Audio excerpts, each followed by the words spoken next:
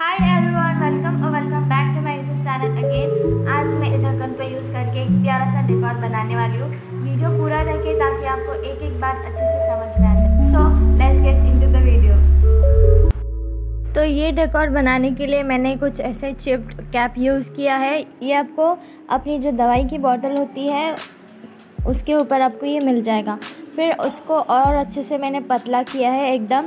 आ, इसका ऑप्शन है कि आप इस पर टेक्सचर पेस्ट यूज़ कर सकते हो उसकी जगह पे। नहीं तो जो मैंने ग्लू शेयर किया है उसका भी यूज़ करके इसे डिज़ाइन कर सकते हो।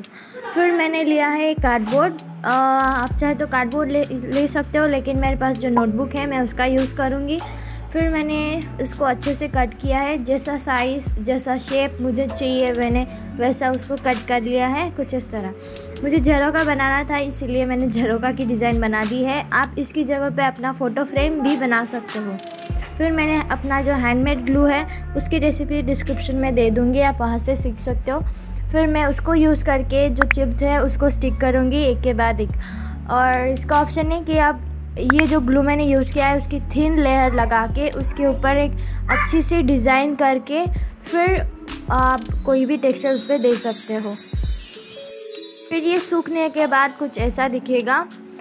और फिर मैंने इसको जो है एक्रेलिक कलर यूज़ करके मैंने इसको पेंट किया है। अगर आपके पास आ, मैंने ना जो बैकग्राउंड है वो ब्लैक कलर का था इसीलिए उसके ऊपर मैं कुछ और पेंट करूँगी तो वो अच्छा नहीं लगेगा। इसीलिए मैंने आ, पहले वाइट कलर से पेंट किया आप चाहे तो जैसो का यूज़ कर सकते हो। जब मैंने रेड कलर से उसको चिप को पेंट किया था वो बहुत बकवास लग रहा था।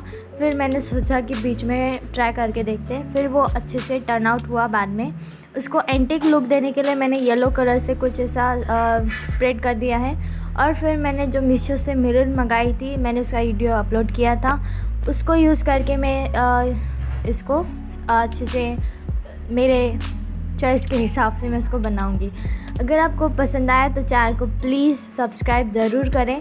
फिर मैंने मोटे वाले मिरर को यूज़ करके आ, उस चिप के अंदर स्टिक किया है। ज़रूरी नहीं है कि आप गोल ही चिप बनाओ। आप चाहे तो इसे ट्रायंगल या तो स्क्वायर शेप की, कोई भी शेप की ऐसे जो चिप है उसको यूज़ कर सकते हो। और फिर मैं मिरर लगाने के बाद उस, वो कुछ ऐसा दिखेगा। फिर मैंने कोन बना के जो अंदर की मिरर है उसको लगाया है। इसी फ्राइडे का मेरा अगला जो वीडियो है ना, वो बहुत ही ज़्यादा इंटरेस्टिंग होने वाला है। प्लीज़ आप मेरे चैनल को सब्सक्राइब करें, बेल आइकॉन बिल्कुल दबाएँ, क्योंकि उस वीडियो की नोटिफिकेशंस आपको मिलती रहे।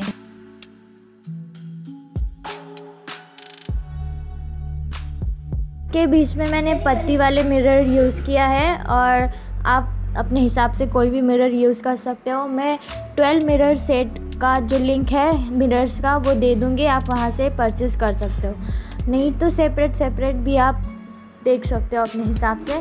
फिर मैंने जो मिरर है, वो कौन से अच्छे से स्टिक किया है?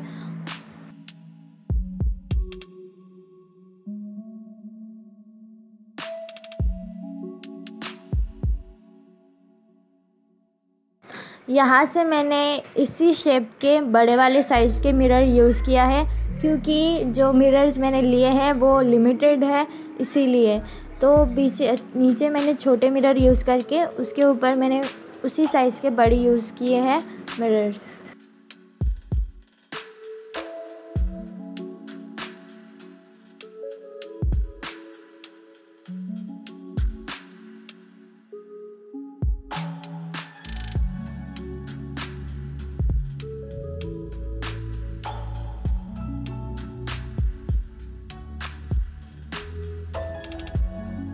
तो ये रहा हमारा डेकोर रेडी है बिल्कुल रेडी है। अगर आपके पास ऐसे मिरर्स नहीं है तो आप ऐसे स्टोन यूज़ कर सकते हो गोल्डन वाले। मैं पहले इसी को यूज़ कर रही थी लेकिन अभी आपने के, के पास मिरर है तो मिरर का क्यों नहीं यूज़ करें? तो वैसे आप स्टोन यूज़ कर सकते हो। फिर ये जो रहा फाइनल लुक इस डी का मेरे जो वीडियो में है ना एक मक्खी बहुत परेशान कर रही थी। उसको इग्नोर करें प्लीज़